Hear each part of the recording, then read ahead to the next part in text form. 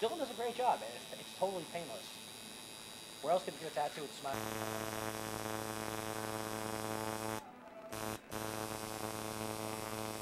This has never existed before.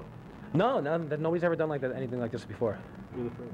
I'm the first. It's like, you know, when somebody said one day, well, you know, let's create light, the guy was probably like, hey, never heard of it, but let's see how it works. So you got to start somewhere with an idea. Yeah, something like cool and artistic.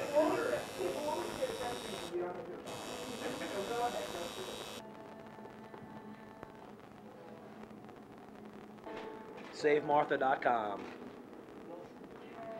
Where else in the world can you get a painless tattoo? And is there a length of time? How long is it? But it's going to stay on me for permanently, forever. Forever. Yeah. For five hundred dollars. Yes. Um, No, I don't want you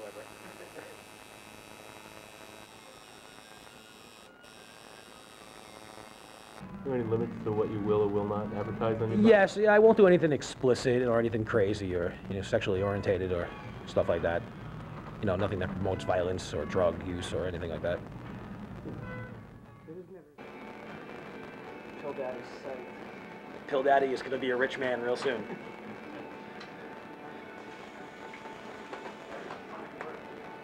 Excellent work. Make sure everybody visits his website at